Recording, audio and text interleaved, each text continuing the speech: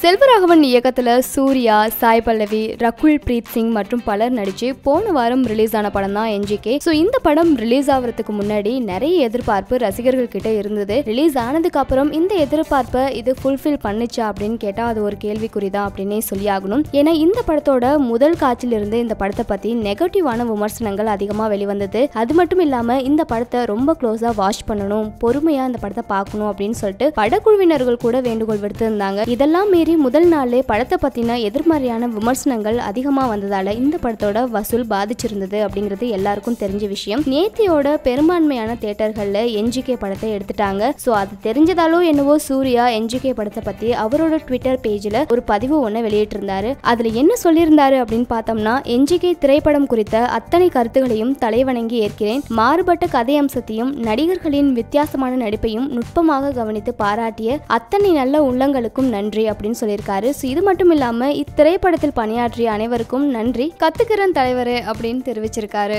So இதுக்கு இடையில NGK படம் ஏழு நாள்ல நூறு கோடி வசூல் அளிச்சிருக்கிறதா சிலர் சமூக வலைதளத்தில் தெரிவிச்சிட்டு வராங்க. குறிப்பா காலிவுட்ல இந்த படத்தை பத்தி விசாரிச்சதுல சுமார் ஐம்பது கோடி வர நஷ்டத்தை இந்த படம் தரும் அப்படின்னு தெரிவிச்சிருக்காங்க. தயாரிப்பாளரை பொறுத்தவரை சேட்டலைட் உரிமை டிஜிட்டல் உரிமைன்னு இன்னும் சில உரிமைகளுடன் தப்பிச்சிருப்பாரே தவிர படத்தை வாங்கியவர்களுக்கு பெரும் நஷ்டம் தான் வந்திருக்கும் அப்படிங்கிற மாதிரி சொல்லியிருக்காங்க. ஸோ இது மாதிரி தமிழ் சினிமா திரையுலகில் நடக்கிற பல சுவாரஸ்யமான செய்திகளை நீங்க தெரிஞ்சுக்க தமிழ் படத்துக்கு சப்ஸ்கிரைப் பண்ணுங்க.